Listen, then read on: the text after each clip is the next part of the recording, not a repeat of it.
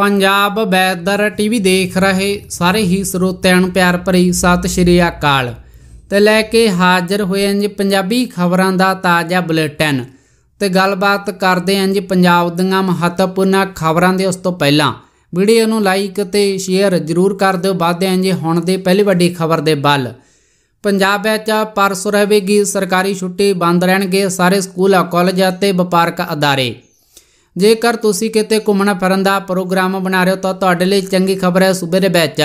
1 ਮਈ 2024 ਦਿਨ ਬੁੱਧਵਾਰ ਨੂੰ ਸਰਕਾਰੀ ਛੁੱਟੀ ਰਹਿਣ ਵਾਲੀ ਇਹ ਦਿਨ ਸੂਬੇ ਭਰ ਦੇ ਸਕੂਲ, ਕਾਲਜ, ਵਿਦਿਅਕ ਅਦਾਰੇ ਅਤੇ ਹੋਰ ਵਪਾਰਕ ਇਕਾਈਆਂ ਦੇ ਵਿੱਚ ਛੁੱਟੀ ਰਹੇਗੀ ਦਰਅਸਲ 1 ਮਈ ਨੂੰ ਮਜ਼ਦੂਰਾ ਦਿਵਸ ਵਜੋਂ ਮਨਾਇਆ ਜਾਂਦਾ ਹੈ। ਸਰਕਾਰ ਨੇ ਸਾਲ 2024 ਦੀ ਸਰਕਾਰੀ ਛੁੱਟੀਆਂ ਦੀ ਸੂਚੀ ਦੇ ਵਿੱਚ ਇਸ ਦਿਵਸ ਨੂੰ ਥਾਂ ਦਿੱਤੀ ਹੈ। ਮਈ ਦਿਵਸ ਤੇ ਸਰਕਾਰ ਦੇ ਵੱਲੋਂ ਛੁੱਟੀ ਲੈਣੀ ਗਿਆ ਤਹਿ ਦਿਨ ਸਰਕਾਰੀ ਸਕੂਲ ਕਾਲਜ ਅਤੇ ਹੋਰ ਸਰਕਾਰੀ ਅਦਾਰੇ ਬੰਦ ਰਹਿਣਗੇ, ਜੇਕਰ ਤੁਹਾਡੇ ਕੋਲ ਬੈਂਕ ਦੇ ਨਾਲ ਜੁੜਿਆ ਕੋਈ ਜ਼ਰੂਰੀ ਕੰਮ ਹੈ ਤਾਂ ਉਸ ਨੂੰ ਤੁਰੰਤ ਪੂਰਾ ਕਰੋ।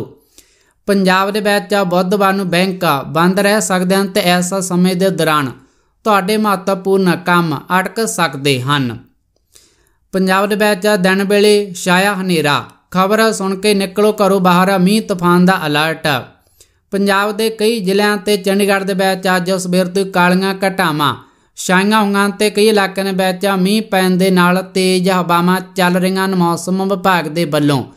ਅਗਲੇ 2 ਦਿਨਾਂ ਦੇ ਲਈ ਭਾਰੀ ਮੀਂਹ ਦੇ ਨਾਲ ਤੂਫਾਨ ਦਾ ਅਲਰਟ ਜਾਰੀ ਕੀਤਾ ਗਿਆ ਮੌਸਮ ਵਿਭਾਗ ਚੰਡੀਗੜ੍ਹ ਕੇਂਦਰ ਦੇ ਮੁਤਾਬਕ 29 ਅਪ੍ਰੈਲ ਮਤਲਬ ਕਿ ਅੱਜ ਪੂਰੇ ਸੂਬੇ ਦੇ ਵਿੱਚ ਔਰੰਜ ਅਲਰਟ ਜਾਰੀ ਰਹੇਗਾ, ਜਦੋਂ ਕਿ 30 ਅਪ੍ਰੈਲ ਨੂੰ ਯੈਲੋ ਅਲਰਟ ਜਾਰੀ ਕੀਤਾ ਗਿਆ ਹੈ। ਦੱਸਣਯੋਗ ਹੈ ਕਿ ਔਰੰਜ ਅਲਰਟ ਵਿੱਚ ਮੌਸਮਾਂ ਖਰਾਬ ਹੋਣ ਦੀ ਸੰਭਾਵਨਾ ਵੱਧ ਜਾਂਦੀ ਹੈ, ਜਦੋਂ ਕਿ ਯੈਲੋ ਅਲਰਟ ਵਿੱਚ ਭਾਰੀ ਮੀਂਹ ਦਾ ਅੰਦਾਜ਼ਾ ਲਾਇਆ ਗਿਆ ਤੇ ਅੱਜ ਮੀਂਹ ਪੈਣ ਦੇ ਕਾਰਨ ਜਿੱਥੇ ਸੂਬੇ ਦੇ ਤਾਪਮਾਨ ਦੇ ਵਿੱਚ ਗਿਰਾਵਟ ਆਈ ਅਤੇ ਉੱਥੇ ਮੌਸਮ ਵੀ ਖੁਸ਼ਨੁਮਾ ਹੋ ਗਿਆ ਤੇ ਲੋਕਾਂ ਨੂੰ ਗਰਮੀ ਤੋਂ ਰਾਹਤ ਮਿਲੀ ਹੈ। ਅਗਲੀ ਖਬਰ ਦੇ ਬਲ ਵਧਣ ਤੋਂ ਪਹਿਲਾਂ ਜਿਹੜੇ ਸਰੋਤੇ ਵੀਰ ਸਾਡੇ ਨਾਲ ਚੈਨਲ ਤੇ ਨਵੇਂ ਜੁੜੇ ਹਨ ਤੇ ਉਹ ਚੈਨਲ ਨੂੰ ਸਬਸਕ੍ਰਾਈਬ ਕਰਕੇ ਨਾਲ ਦਿੱਤੇ ਘੰਟੇ ਵਾਲੇ ਬਟਨ ਨੂੰ ਦੱਬ ਕੇ ਆਲ ਤੇ ਕਲਿੱਕ ਕਰ ਲੈਣ ਤਾਂ ਜੋ ਆਉਣ ਵਾਲੀਆਂ ਵੀਡੀਓ ਦੀ ਨੋਟੀਫਿਕੇਸ਼ਨਾਂ ਤੁਹਾਨੂੰ ਸਭ ਤੋਂ ਪਹਿਲਾਂ ਮਿਲ ਸਕੇ। ਕੈਨੇਡਾ ਸਰਕਾਰ ਸਿੱਖਾਂ ਦੇ ਅਧਿਕਾਰਾਂ ਤੇ ਆਜ਼ਾਦੀ ਦੀ ਰਾਖੀ ਦੇ ਲਈ ਹਮੇਸ਼ਾ ਤਿਆਰ ਟਰੂਡੋ। ਕੈਨੇਡੀਅਨ ਪ੍ਰਧਾਨ ਮੰਤਰੀ ਜਸਟਨ ਟਰੂਡੋ ਜਦੋਂ ਟ੍ਰਾਂਟੋ ਦੇ ਵਿੱਚ ਸਿੱਖਾਂ ਨੂੰ ਸੰਬੋਧਨ ਕਰਨ ਦੇ ਲਈ ਪੁੱਜੇ ਤਾਂ ਭੀੜ ਦੇ ਵੱਲੋਂ ਜ਼ੋਰਦਾਰ ਖਾਲਿਸਤਾਨ ਪੱਕੀ ਨਾਰੇ ਲਾਏ ਗਏ। ਟਰੂਡੋ ਨੇ ਦੇਸ਼ ਦੇ ਸਿੱਖਾਂ ਨੂੰ ਭਰੋਸਾ ਦਿੱਤਾ ਕਿ ਸਰਕਾਰ ਹਰ ਕੀਮਤ ਤੇ ਉਹਨਾਂ ਦੇ ਅਧਿਕਾਰਾਂ ਤੇ ਆਜ਼ਾਦੀ ਦੀ ਰਾਖੀ ਦੇ ਲਈ ਹਮੇਸ਼ਾ ਮੌਜੂਦ ਹੈ ਤੇ ਉਹਨਾਂ ਨੇ ਕਿਹਾ ਕਿ ਵਿਭਿੰਨਤਾ। ਕੈਨੇਡਾ ਦੀ ਸਭ ਤੋਂ ਵੱਡੀ ਤਾਕਤ।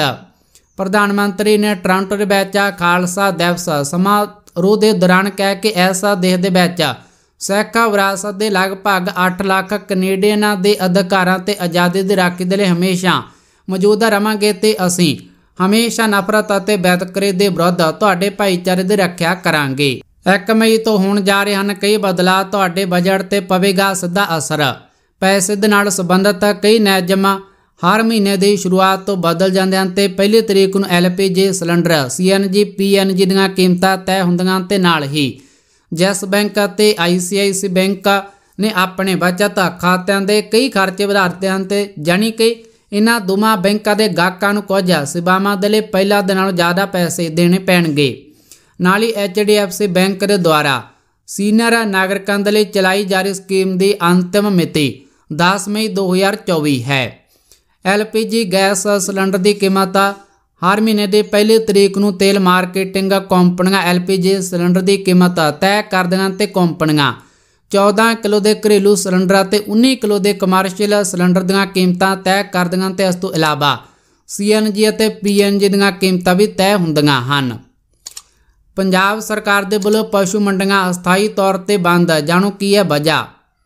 ਪਿਛਲੇ ਕਈ ਦਿਨਾਂ ਤੋਂ ਪੰਜਾਬ ਦੇ ਕਈ ਹਿੱਸਿਆਂ ਦੇ ਵਿੱਚ ਪਸ਼ੂਆਂ ਦੇ ਅੰਦਰ ਪਹਿਲੀ ਬਿਮਾਰੀ ਦੇ ਪ੍ਰਕੋਪ ਨੂੰ ਰੋਕਣ ਦੇ ਲਈ ਪੰਜਾਬ ਸਰਕਾਰ ਨੇ ਇੱਕ ਲਿਖਤੀ ਹੁਕਮਾਂ ਜਾਰੀ ਕਰਕੇ ਪਸ਼ੂ ਮੰਡੀਆਂ ਲੱਗਣ ਤੇ ਮੁਕੰਮਲ ਰੋਕ ਲਗਾ ਦਿੱਤੀ। ਹੈ ਇਸ ਸਬੰਧ ਵਿੱਚ ਪਸ਼ੂ ਪਾਲਣ ਵਿਭਾਗ ਦੇ ਸੰਯੁਕਤ ਸਕੱਤਰ ਦੇ ਵੱਲੋਂ ਬਕਾਇਦਾ ਲਿਖਤੀ ਹੁਕਮ ਜਾਰੀ ਕੀਤੇ ਗਏ ਹਨ ਤੇ ਇਹਨਾਂ ਹੁਕਮਾਂ ਦੇ ਪਾਲਣਾ ਤਹਿਤ ਹੀ ਅੱਜ ਜ਼ਿਲ੍ਹਾ ਪ੍ਰਸ਼ਾਸਨ ਨੇ ਖੰਨਾ ਵਿਖੇ ਲੱਗਣ ਵਾਲੀ ਪਸ਼ੂ ਮੰਡੀ ਵੀ ਨਾ ਲੱਗਣ ਦਿੱਤੇ। ਇਸ ਸੰਬੰਧੀ ਜਾਣਕਾਰੀ ਦਿੰਦੇ ਪਸ਼ੂ ਪਾਲਣ ਵਿਭਾਗ ਦੇ deputy director doctor Paramdeep Singh Walia ਨੇ ਇੱਕ ਲਿਖਤੀ ਪ੍ਰੈਸ ਬਿਆਨ ਦੇ ਰਾਹੀਂ ਦੱਸਿਆ ਕਿ ਪਿਛਲੇ ਕੁਝ ਸਮੇਂ ਤੋਂ ਪੰਜਾਬ ਦੇ ਵੱਖ-ਵੱਖ ਇਲਾਕਿਆਂ ਦੇ ਅੰਦਰ ਪਸ਼ੂਆਂ ਦੇ ਵਿੱਚ ਮੂੰਹ ਖੁਰ ਅਤੇ ਗਲ ਘੁੱਟੂ ਬਿਮਾਰੀ ਦੇ ਲੱਛਣ ਪਾਏ ਗਏ ਸਨ ਤੇ ਜਿਸ ਦੇ ਮੱਦੇਨਜ਼ਰ ਪੰਜਾਬ ਸਰਕਾਰ ਨੇ ਗੁਰੂ ਅੰਗਦ ਦੇਵ ਵੈਟਰਨਰੀ ਅਤੇ ਐਨੀਮਲ ਸਾਇੰਸ ਯੂਨੀਵਰਸਿਟੀ, ਲੁਧਿਆਣਾ ਅਤੇ ਪਸ਼ੂਆਂ ਦੇ ਅੰਦਰ ਵੱਖ-ਵੱਖ ਬਿਮਾਰੀਆਂ ਦੀ ਜਾਂਚ ਦੇ ਲਈ ਜਲੰਧਰ ਦੇ ਵਿੱਚ ਸਥਾਪਿਤ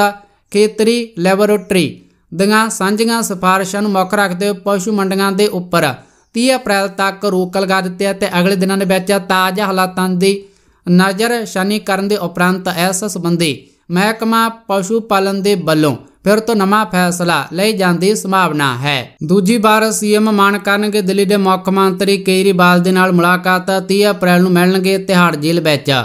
ਪੰਜਾਬ ਦੇ ਮੁੱਖ ਮੰਤਰੀ ਭਗਵੰਤ ਮਾਨ 30 ਅਪ੍ਰੈਲ ਨੂੰ ਦਿੱਲੀ ਦੇ ਮੁੱਖ ਮੰਤਰੀ ਅਰਵਿੰਦ ਕੇਜਰੀਵਾਲ ਦੇ ਨਾਲ ਮੁਲਾਕਾਤ ਕਰਨਗੇ ਤੇ ਦੋਵੇਂ ਮੁੱਖ ਮੰਤਰੀ ਤਿਹਾੜ ਜੇਲ੍ਹ ਦੇ ਵਿੱਚ ਮਿਲਣਗੇ ਤੇ ਇਹ ਮੁਲਾਕਾਤ 30 ਅਪ੍ਰੈਲ ਤੋਂ ਬਾਅਦ ਦੁਪਹਿਰ ਨੂੰ ਹੋਵੇਗੀ। ਆਮ ਆਦਮੀ ਪਾਰਟੀ ਦੇ ਪ੍ਰਚਾਰ ਗੀਤ ਤੇ ਲੱਗੀ ਪਾਬੰਦੀ ਈਸੀਆਈ ਨੇ ਦੱਸਿਆ ਨਿਯਮਾਂ ਦੀ ਉਲੰਘਣਾ। ਤਾਂ ਦੋਸਤੋ, ਭਾਰਤੀ ਚੋਣ ਕਮਿਸ਼ਨ ਨੇ ਲੋਕ ਸਭਾ ਚੋਣਾਂ 2024 ਤੋਂ ਪਹਿਲਾਂ ਆਮ ਆਦਮੀ ਪਾਰਟੀ ਨੂੰ ਵੱਡਾ ਝਟਕਾ ਦਿੱਤਾ ਚੋਣ ਕਮਿਸ਼ਨ ਨੇ। ਪਾਰਟੀ ਦੇ ਪ੍ਰਚਾਰ ਗੀਤ ਤੇ ਪਾਬੰਦੀ ਲਗਾ ਦਿੱਤੀ ਹੈ ਚੋਣ ਕਮਿਸ਼ਨ ਨੇ। ਗੀਤ ਦੇ ਕੰਟੈਂਟ ਅਤੇ ਤਸਵੀਰਾਂ ਤੇ ਇਤਰਾਜ਼ ਜਤਾਇਆ ਤੇ ਇਸ ਵਿੱਚ ਸੋਧ ਕਰਕੇ ਦੁਬਾਰਾ ਪੇਸ਼ ਕਰਨ ਦੇ ਲਈ ਕਿਹਾ ਗਿਆ ਤੇ ਜਾਣਕਾਰੀ ਦੇ ਅਨੁਸਾਰ ਭਾਰਤੀ ਚੋਣ ਕਮਿਸ਼ਨ ਨੇ ਆਮ ਆਦਮੀ ਪਾਰਟੀ ਦੇ ਗੀਤ ਤੇ ਪਾਬੰਦੀ ਲਾਉਂਦਿਆਂ ਇਸ ਨੂੰ ਕੇਵਲ ਟੈਲੀਵਿਜ਼ਨ ਨੈਟਵਰਕ ਨਿਯਮ 1994 ਅਤੇ ਈਸੀਆਈ ਦਿਸ਼ਾ ਨਿਰਦੇਸ਼ਾਂ ਦੇ ਤਹਿਤ ਨਿਰਧਾਰਤ ਵਿਗਿਆਪਨ ਕੋਡਾਂ ਦੇ ਅਨੁਸਾਰ ਆਪਣੇ ਚੋਣ ਪ੍ਰਚਾਰ ਗੀਤ ਦੀ ਸਮੱਗਰੀ ਨੂੰ ਸੋਧਣ ਅਤੇ ਸੋਧ ਤੋਂ ਬਾਅਦ ਪ੍ਰਮਾਣੀਕਰਨ ਦੇ ਲਈ ਦੁਬਾਰਾ ਜਮ੍ਹਾਂ ਕਰਨ ਦੇ ਲਈ ਕਿਹਾ ਗਿਆ ਹੈ।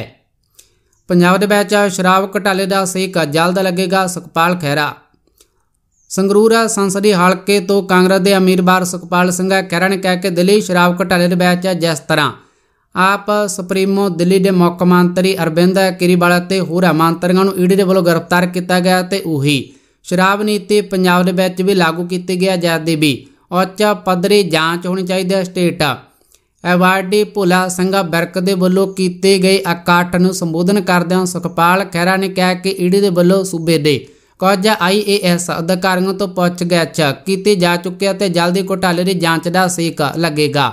ਇਸ ਦੇ ਨਾਲ ਲੋਕਾਂ ਦੀ ਕਚਹਿਰੀ ਦੇ ਵਿੱਚ ਇਮਾਨਦਾਰ ਸਰਕਾਰ ਦਾ ਚਿਹਰਾ ਸਾਹਮਣੇ ਆ ਜਾਵੇਗਾ। ਅਗਲੀ ਖਬਰ, ਨਾ ਯੂਪੀਆਈ, ਨਾ ਨੋਟਬੰਦੀ, ਸਾਰੇ ਤਰੀਕੇ ਨਾਕਾਮ ਭਾਰਤੀ ਵੱਧ ਤੋਂ ਵੱਧ ਕਰ ਰਹੇ ਨੇ ਨਗਦੀ ਦੀ ਵਰਤੋਂ। ਨਗਦੀ ਦੀ ਵਰਤੋਂ ਨੂੰ ਘੱਟ ਕਰਨ ਦੇ ਲਈ ਵੱਖ-ਵੱਖ ਉਪਾਵਾਂ ਅਤੇ ਯੂਪੀਆਈ ਵਰਗੇ ਲੈਣ ਦੇਣ ਦੇ ਵਿਕਲਪ ਡਿਜੀਟਲ ਸਾਧਨਾਂ ਦੇ ਬਾਵਜੂਦ ਭਾਰਤ ਵਿੱਚ ਨਗਦੀ ਦੀ ਵਰਤੋਂ ਘੱਟ ਨਹੀਂ ਹੋ ਰਹੀ ਹੈ ਤੇ ਇੱਕ ਤਾਜ਼ਾ ਰਿਪੋਰਟ ਦੱਸਦੀ ਹੈ ਕਿ ਸਾਲ 2016 ਤੋਂ 2017 ਤੋਂ ਵਿੱਤੀ ਸਾਲ 2023-24 ਤੱਕ ਭਾਰਤ ਵਿੱਚ ਨਗਦੀ ਦਾ ਸਰਕੂਲੇਸ਼ਨ ਲਗਭਗ 165% ਵਧਿਆ ਹੈ। ਇਸ ਤੋਂ ਪਤਾ ਲੱਗਦਾ ਹੈ ਕਿ ਭਾਰਤੀ ਹਜੇ ਵੀ ਵੱਡੀ ਮਾਤਰਾ ਦੇ ਵਿੱਚ ਨਗਦੀ ਦੀ ਵਰਤੋਂ ਕਰ ਰਹੇ ਹਨ ਤੇ ਇੰਨੀ ਵੱਧ ਗਈ ਹੈ ਨਗਦੀ ਦੀ ਵਰਤੋਂ। H S B C P HSBC I ਅਤੇ CMS ਕੈਸ਼ ਇੰਡੈਕਸ ਦੇ ਅਨੁਸਾਰ ਵਿੱਤੀ ਸਾਲ 2016-17 ਵਿੱਚ ਜਿੱਥੇ ਭਾਰਤ ਵਿੱਚ 13.35 ਲੱਖ ਕਰੋੜ ਰੁਪਏ ਦੀ ਕੈਸ਼ ਸਰਕੂਲੇਸ਼ਨ ਦੇ ਵਿੱਚ ਸੀ ਮਾਰਚ 2024 ਦੇ ਅਖੀਰ ਵਿੱਚ ਸਰਕੂਲੇਸ਼ਨ ਦੇ ਵਿੱਚ ਨਗਦੀ ਦੀ ਮਾਤਰਾ ਵੱਧ ਕੇ 35.15 ਲੱਖ ਕਰੋੜ ਪਹੁੰਚ ਗਈ। ਚੰਡੀਗੜ੍ਹ ਪ੍ਰਾਈਵੇਟ ਸਕੂਲਾਂ ਦੀਆਂ ਬੱਸਾਂ ਦੇ ਵਿੱਚ ਸਫ਼ਰ ਹੋਇਆ ਮਹਿੰਗਾ। ਯੂਟੀ ਦੇ ਪ੍ਰਾਈਵੇਟ ਸਕੂਲਾਂ ਦੇ ਵਿੱਚ ਚੱਲਦੀਆਂ ਬੱਸਾਂ ਦੇ ਵਿੱਚ ਵਿਦਿਆਰਥੀਆਂ ਦੇ ਲਈ ਸਫ਼ਰ ਕਰਨਾ ਹੋਰ ਮਹਿੰਗਾ ਹੋ ਗਿਆ ਚੰਡੀਗੜ੍ਹ ਬੱਸ ਆਪਰੇਟਰ ਜਾਂ ਵੈਲਫੇਅਰ ਐਸੋਸੀਏਸ਼ਨ ਨੇ ਸਾਰੇ ਸਕੂਲਾਂ ਦੇ ਵਿੱਚ 200 ਰੁਪਏ ਪ੍ਰਤੀ ਮਹੀਨਾ। ਪ੍ਰਤੀ ਵਿਦਿਆਰਥੀ ਫੀਸ ਵਧਾ ਦਿੱਤੀ ਹੈ ਤੇ ਦੂਜੇ ਪਾਸੇ ਬੱਸ ਮਾਲਕਾਂ ਨੇ ਡੀਜ਼ਲ ਦੀਆਂ ਲਗਾਤਾਰ ਵਧਦੀਆਂ ਕੀਮਤਾਂ ਤੇ ਸਰਕਾਰੀ ਨੀਤੀਆਂ ਸਾਜ਼ਗਾਰ ਨਾ ਹੋਣ ਦਾ ਹਵਾਲਾ ਦੇ ਕੇ ਫੀਸ ਵਧਾਈ ਹੈ। ਇਹ ਪਤਾ ਲੱਗਾ ਕਿ ਚੰਡੀਗੜ੍ਹ ਬੱਸ ਆਪਰੇਟਰਾਂ ਨੇ ਸਕੂਲ ਮੁਖੀਆਂ ਦੇ ਨਾਲ ਮੀਟਿੰਗ ਕੀਤੀ ਸੀ ਜਿਸ ਵਿੱਚ ਹਰ ਸਕੂਲ ਨੇ 8% ਦਰ ਦੇ ਨਾਲ ਸਕੂਲ ਬਾਅਦ ਦੀ ਫੀਸ ਵਧਾਉਣ ਨੂੰ ਹਰੀ ਝੰਡੀ ਦੇ ਦਿੱਤੀ ਸੀ, ਪਰ ਕਈ ਸਕੂਲਾਂ ਦੇ ਵਿੱਚ ਦੂਰੀ ਦੇ ਹਿਸਾਬ ਦੇ ਨਾਲ ਬੱਸ ਫੀਸ 10% ਤੱਕ ਵਧਾਈ ਗਈ ਹੈ। Chandigarh school bus operator association ਦੇ ਪ੍ਰਧਾਨ ਲਖਬੀਰ ਸਿੰਘ ਨੇ ਦੱਸਿਆ ਕਿ ਬੱਸ ਮਾਲਕਾਂ ਦਾ ਪਿਛਲੇ ਸਾਲਾਂ ਤੋਂ ਕਾਫੀ ਨੁਕਸਾਨ ਹੋਇਆ ਤੇ ਇਸ ਤੋਂ ਇਲਾਵਾ ਸਕੂਲ ਬੱਸਾਂ ਦੇ ਇੰਸ਼ੋਰੈਂਸ ਵਿੱਚ ਵੀ ਭਾਰੀ ਵਾਧਾ ਹੋਇਆ ਤੇ ਇਸ ਹਾਲਤ ਵਿੱਚ ਬੱਸ ਮਾਲਕਾਂ ਦੇ ਖਰਚੇ ਵੀ ਪੂਰੇ ਨਹੀਂ ਹੋ ਪਾ ਰਹੇ। ਸ਼ਹਿਰ ਦੇ ਸਕੂਲਾਂ ਤੋਂ ਹਾਸਲ ਜਾਣਕਾਰੀ ਦੇ ਅਨੁਸਾਰ ਦਰਾਂ ਵਧਣ ਤੋਂ ਪਹਿਲਾਂ ਹਰ ਸਕੂਲ ਦੇ ਵਿੱਚ ਬੱਸ, ਫੀਸਾਂ ਵੱਖ-ਵੱਖ ਹਨ। ਵਿਦਿਆਰਥੀਆਂ ਨੂੰ ਦੂਰੀ ਦੇ ਹਿਸਾਬ ਦੇ ਨਾਲ 2000 ਰੁਪਏ ਤੋਂ ਲੈ ਕੇ 2800 ਰੁਪਏ ਪ੍ਰਤੀ ਮਹੀਨਾ ਦੇਣੇ ਪੈ ਰਹੇ ਸਨ। ਭਵਨ ਵਿਦਿਆਲਿਆ ਸਕੂਲ ਦੀਆਂ ਬੱਸਾਂ ਚੰਡੀਗੜ੍ਹ ਦੇ ਵਿਦਿਆਰਥੀਆਂ ਤੋਂ 2000 ਰੁਪਏ ਮਾਲੀ ਤੇ ਪੰਚਕੁਲਾ ਦੇ ਵਿਦਿਆਰਥੀਆਂ ਤੋਂ 2500 ਰੁਪਏ ਲੈ ਰਹੀਆਂ ਸਨ।